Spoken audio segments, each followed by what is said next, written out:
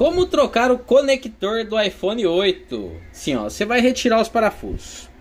Só lembrando que esse parafuso aqui, ó, a chave que faz a retirada dele chama-se Convex Cross 2.5, esse bichinho aí, ó. Se você não tiver, dá para fazer uma adaptação com a chave Phillips e retirar ele. Então você vai fazer o que? Você vai retirar esse parafuso, opa, esse parafuso, esse parafuso também, este, todos esses parafusos que você vê nessa parte aqui. Só um minutinho. Então você vai retirar todos esses parafusos que tem aqui, certo? Detalhe, né? Para quem não conhece ainda, para quem não tem as manhas aí, ó, na manta eu costumo fazer uma sequência de parafusos. Uma dica muito importante é: coloque seu celular para gravar o que você está fazendo, porque depois na hora de montar, você vai falar assim: "Ah, mas de onde que era essa pecinha preta aqui?" Então, na filmagem tem lá e você vai conseguir se localizar aí. Vai retirar essa campainha, ele vai descolar. Depois de descolado, você vai vir com a nova, um novo flex desse aqui, ó. Isso aqui é baratinho, hein? Aí você vai pegar uma espátula de plástica assim, ó, e vai dar uma levantada aqui, tá bom? Detalhe, tem que retirar todos esses flex. Esse aqui é o da bateria, certo? Ó.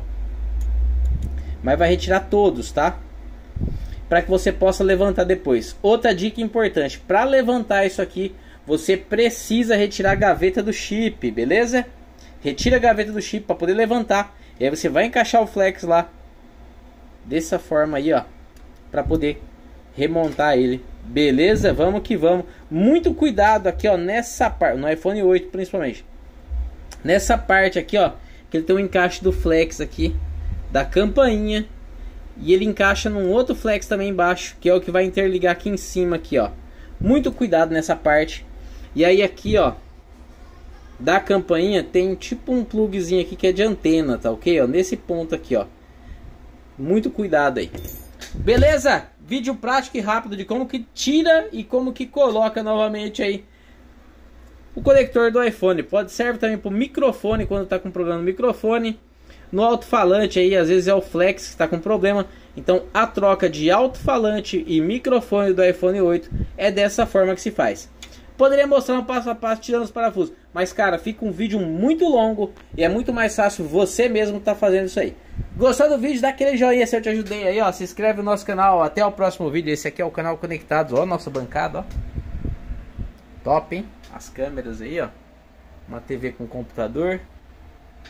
Um somzinho. E é isso aí. Tchau, obrigado.